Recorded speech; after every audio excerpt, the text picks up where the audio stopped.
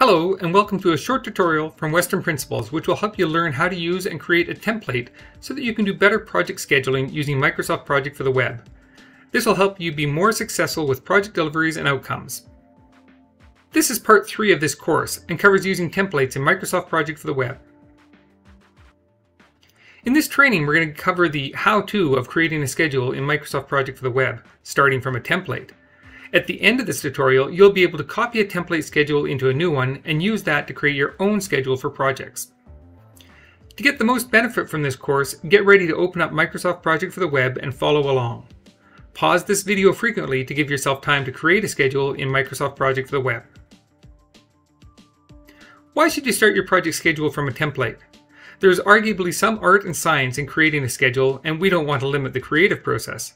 However, there are at least three good reasons to start your schedule from a template.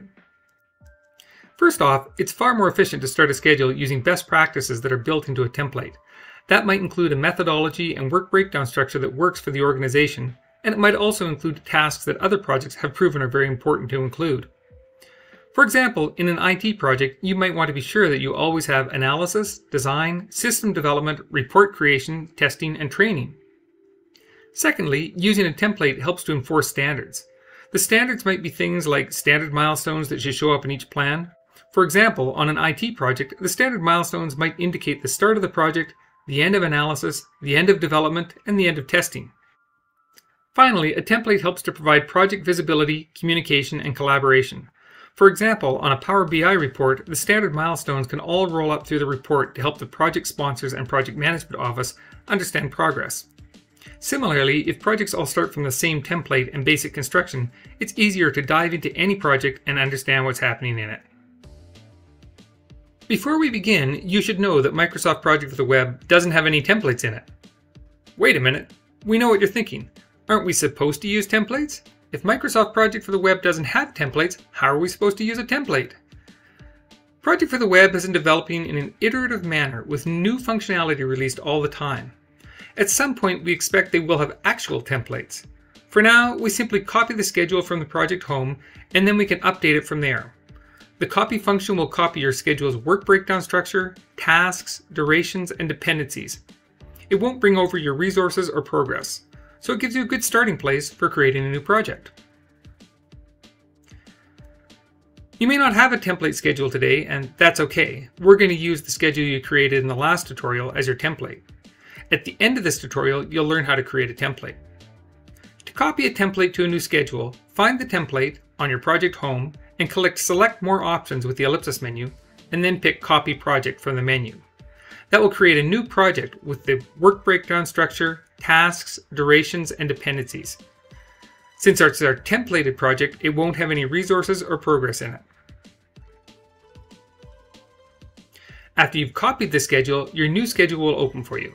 Now you need to change the project name and set the start date, and add a resource group and assign work. This is exactly as you learned in the last tutorial about creating a schedule. Here we are inside Project for the Web inside a browser again. And here's the project schedule that we created in the last tutorial. We're going to use it for our template in this example. If we take a quick look at the schedule, you see that we have all of the tasks, we have a work breakdown structure, we have resources assigned, and we have relationships among the activities.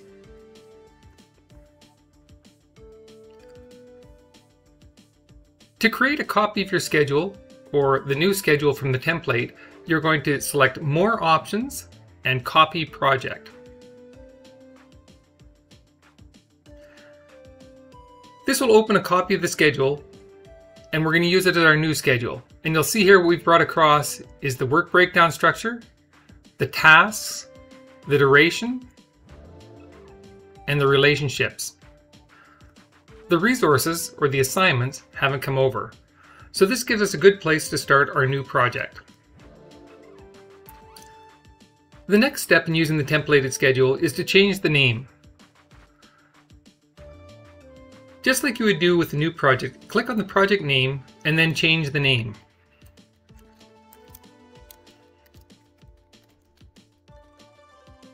At this point, you can also change the start date.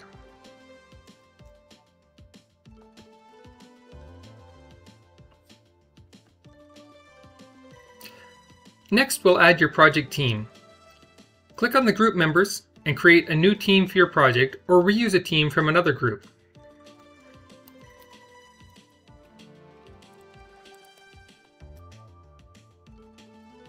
This is the same as the steps we went through in the second tutorial about creating a schedule. If you did tutorial 2, this will be easy. If you didn't, then go and do it.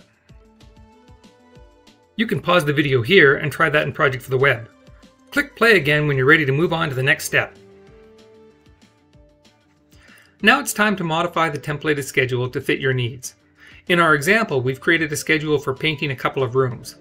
We're going to use this template to create a schedule for painting three offices and a reception area. It's time to modify our schedule from the template now. So why don't we start by adding some resources in here.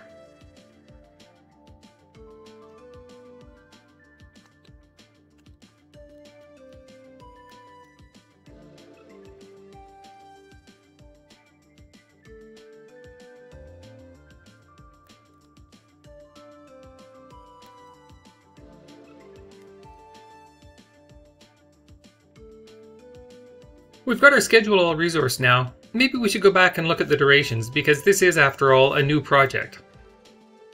Perhaps we should modify some.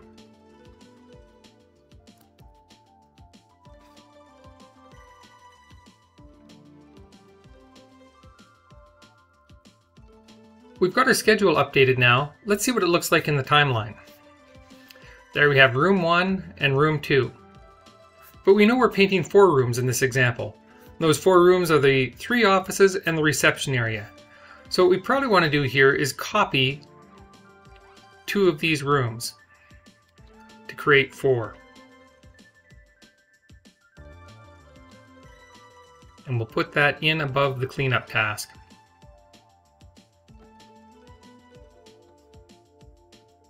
That copied in our two other rooms, so now we have a total of four rooms to paint. Let's go and we'll change the names of these so that we know what we're doing.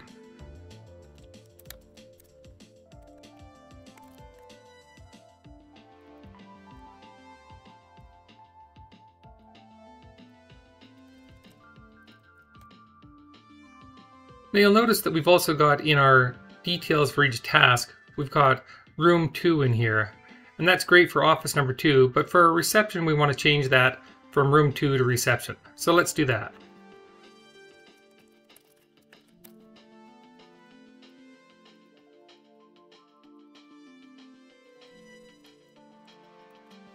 If we contract our schedule now, we can contract office number one and office number two. But you'll notice when we do that, that our office number three and our reception areas are actually indented underneath office number two. So we should fix that.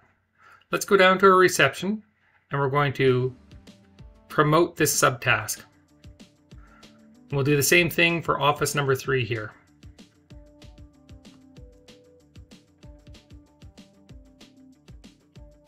Now we have office number one,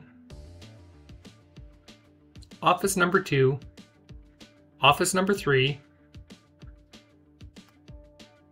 and the reception area.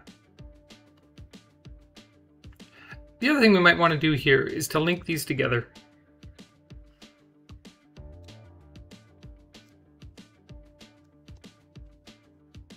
From here we can do other modifications to the schedule. For example, within the reception area, which is quite large in this case, we might want to modify the amount of time that we have for duration on each of our activities.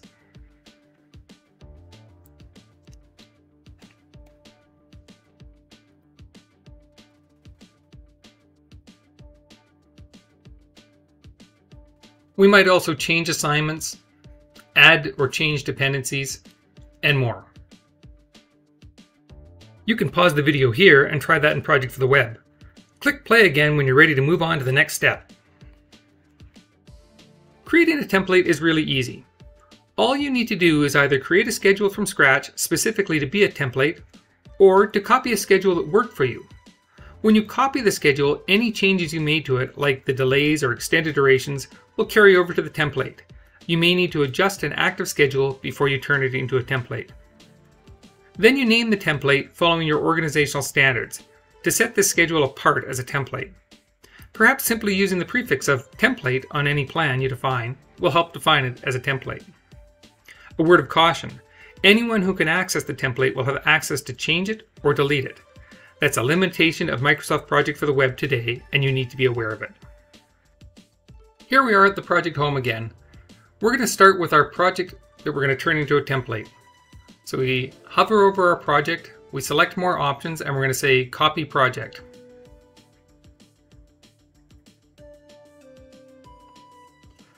Project for the Web creates our project now based on that copied project. We've got the tasks, we've got the work breakdown structure, we've got the durations, we don't have resources, and we have the structure of the project. Now what we want to do is change the name.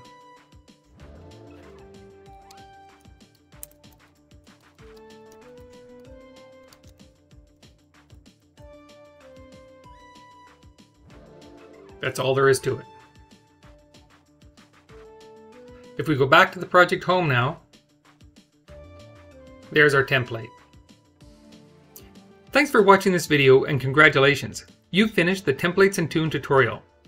Please join us for other detailed tutorials about using Microsoft Project for the Web to drive successful project outcomes.